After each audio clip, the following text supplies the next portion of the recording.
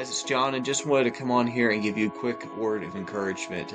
As I've been praying this year, God's really been putting a word on my heart, and that word has been forward. Um, and forward is one of the most important words in our English language here. And unfortunately, right now, the meaning of forward is broken in our society we need to return back to what's the Christ-like way of forward. Um, according to Merriam-Webster dictionary, forward is moving, tending, or leaning towards a position front. That's society's view of forward. Forward as a verb is a choice. So you can't move forward without an initial choice. Typically, there's a momentum that is necessary to maintain a consistent state of forward. So you may think, so John, what does this have to do with our faith? It has everything to do with our faith.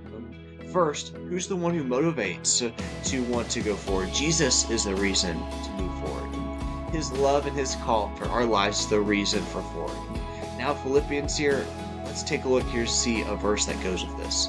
Brothers and sisters, I do not consider myself yet to have taken hold of it, but one thing I do, forgetting what is behind and straining towards what is ahead.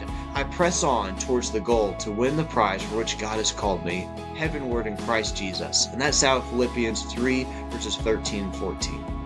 So now, what happens when a block to our forward happens? And it's definitely going to happen, it will. When those blocks happen, we have two choices.